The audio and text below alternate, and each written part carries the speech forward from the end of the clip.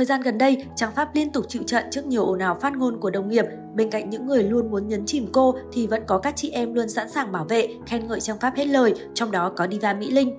Mới nhất, khi có dịp xuất hiện cùng Trang Pháp và Uyên Linh trong một chương trình, Mỹ Linh khiến cộng đồng mạng thích thú với những chia sẻ cực kỳ cảm động khi nhắn nhủ đến Trang Pháp, chị tin em.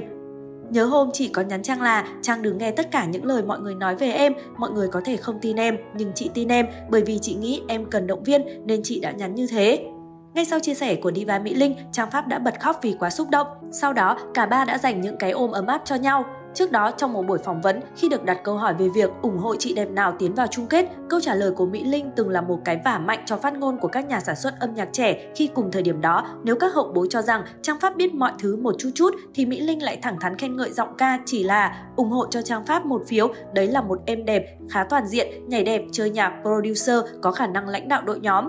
Đáng chú ý và gây xôn xao mạng xã hội từ khi phát sóng công diễn năm đến nay là màn bầu chọn đội trưởng mới của team ứng cử viên Mỹ Linh, Thu Phương, Trang Pháp, Ninh Dương Lan Ngọc, Linh Ly, Nguyên Hà. Khán giả tinh ý nhận ra thái độ lạ của Lệ Quyên khi chứng kiến đội bạn tung hứng khen Trang Pháp nức nở. Cụ thể, Lan Ngọc mở lời đầu tiên với một phiếu bầu đội trưởng dành cho Trang Pháp. Nữ diễn viên nói, em bầu chị Trang Pháp, chị có khả năng đảm nhiệm được ba bài. Diva Mỹ Linh lập tức tiếp lời, nếu mà vote, em cũng nghĩ sẽ vote cho Trang bởi vì Trang vừa sáng tác được, vừa nhảy được, vừa hát tốt, bè cũng giỏi và có khả năng chơi nhạc cụ, visual đẹp, lại có tinh thần lãnh đạo, lại có tinh thần chiến đấu với các team khác và quan trọng nhất là khi Trang Pháp làm đội trưởng là đội đấy hay nhất.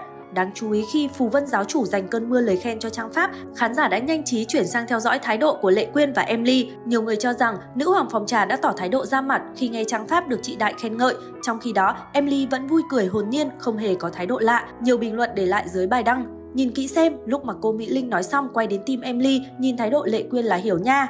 Tính ra có mỗi Lệ Quyên thái độ chứ mấy người kia dễ thương mà. Để ý góc quay toàn là zoom out hoặc zoom in, mình Diệu Nhi thôi vì Lệ Quyên thái độ ra mặt kìa, thấy em Ly thì vẫn vui cười bình thường. Đoạn này không quay tim kia ngoài Diệu Nhi, tại má nào mặt cũng chằm vằm. Ủa, Lệ Quyên sao mặt khó chịu vậy?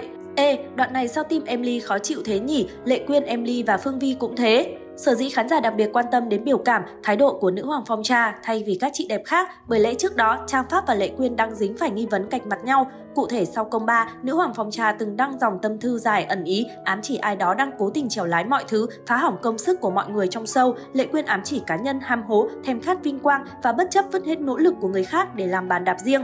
Mọi nghi vấn đã đổ dồn về phía Trang Pháp và điều này ngày càng trở nên sáng tỏ hơn khi vào ngày 21 tháng 1, Lệ Quyên tiếp tục đăng đàn công khai gọi Trang Pháp là ai đó. Điều này khiến cộng đồng mạng dậy sóng dữ dội và tò mò không biết rốt cuộc câu chuyện phía sau hậu trường mà Lệ Quyên liên tục ẩn ý là gì.